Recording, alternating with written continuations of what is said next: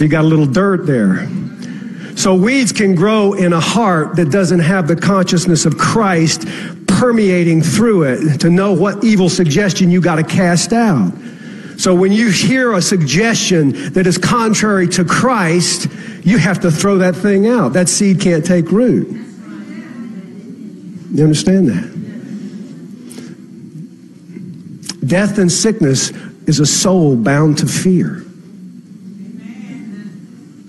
And when your soul starts to have the life of Christ flowing through it, like we showed yesterday, you, you, you become transformed. You don't see things the same way. You don't rehearse all the failures in your life. I'm going to build a little bit here before we do the anointing. Turn with me, if you would, to Exodus, the 23rd chapter. You know, the, the desire for everything in God is multiplication. He desires a generation and a people and a church that multiplies. He doesn't even talk about addition, he talks about multiplication.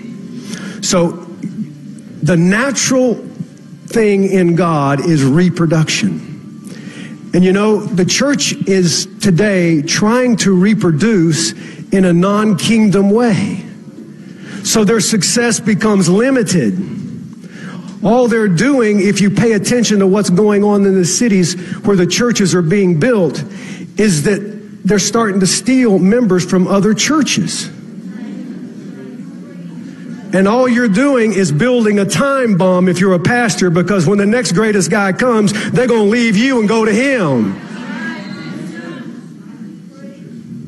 So what you have to understand is there's a kingdom way to multiply. There's a kingdom way to be successful. So let's let's look at something that God told